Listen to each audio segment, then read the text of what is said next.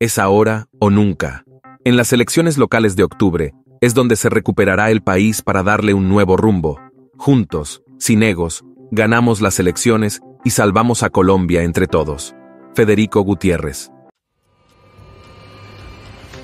Esto es una lucha y una elección que se va a basar en cómo defender el país, cómo defender la democracia desde las regiones, cómo estar en contra de la corrupción y en contra de quienes nos quieren llevar un salto al vacío sin paracaídas. Resúmelo en eso. Y en eso podemos encontrar muchos sectores políticos, sociales, empresariales, que apoyen esas candidaturas buenas en todo el país. Eso es lo que tenemos que buscar un consenso. Yo se los digo, yo que he recorrido el país y lo sigo recorriendo y vengo de tener una candidatura presidencial y ver lo que hoy está pasando en el país que vamos por muy mal camino. Es ahora o nunca. Es ahora o nunca. Que no nos quejemos después de octubre que porque no nos juntamos, que no nos quejemos después de octubre, que porque el ego de alguno impidió uniones entre personas buenas, honestas,